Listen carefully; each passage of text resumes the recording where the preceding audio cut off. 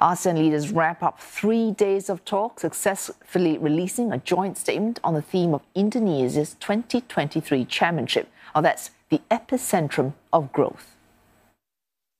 Need a safe house, and ASEAN is on the track to be able to perform those roles. And after going through difficult process, we finally agreed the EAS leaders joint statement on epicentrum of growth. President Widodo says the bloc will not be held hostage by the crisis in Myanmar, adding they will continue peace efforts in the region. Mr. Widodo also emphasized that every leader has the responsibility to diffuse tensions and not to create new conflicts. On many topics were discussed during the high level meeting, such as the ongoing crisis in Myanmar and territorial disputes in the South China Sea. The ASEAN leaders have now handed the chairmanship gavel to Laos who will be leading the bloc in 2024.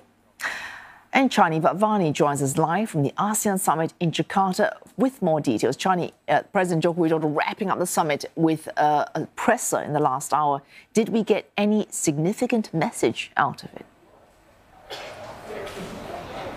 Well, it was certainly a press conference that did not beat around the bush. And as you mentioned there, he told media attending that he stated to leaders in the forum how they all have a very big responsibility not to cause any new tensions and not to create new conflicts. And in fact, they should be decreasing uh, tensions. Now, he also said uh, that ASEAN was a safe house, as you rightly heard as well. He said that the world needed it. And he also said that he guarantees that if ASEAN is not able to manage uh, its rivalries, it will be be it, it will be destroyed. He said if ASEAN is not able to manage its differences, it will be destroyed. He also said that ASEAN should not give in to what he called the currents of rivalry because, again, he said if they do, it will be destroyed. So he certainly cautioned uh, ASEAN uh, strong, strongly there against uh, joining uh, geopolitical rivalries and, of course, becoming a proxy as well to uh, superpower rivalries as well there. Now, he also said that the intense geopolitical tug of war reminded him of the G20 in Bali.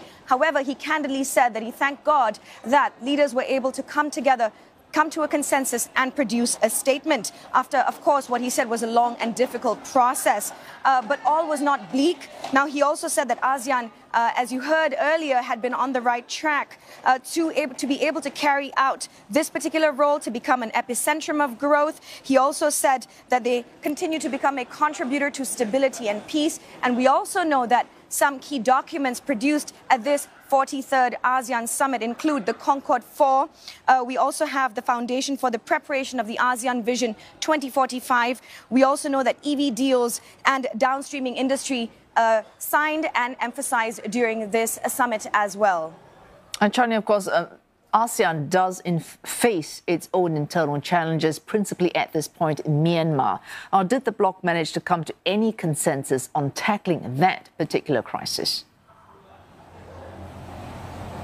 Well, where Myanmar is concerned, he said that ASEAN will continue uh, the implementation of the five point consensus. They will continue their efforts where Myanmar is concerned. And of course, he also talked about the formation of the Troika mechanism. Now, the Troika mechanism is, of course, it consists of the country uh, holding the position of chairmanship, the country before, uh, the, as in the previous chair, and of course, the chair the next chair as well. So all of these countries coming together to manage or rather tackle or engage with Myanmar so that there is continuity and therefore no one country has to go about it alone. So it remains to be seen how this Troika mechanism is all going to play out and we'll certainly be keeping a very close eye on these developments.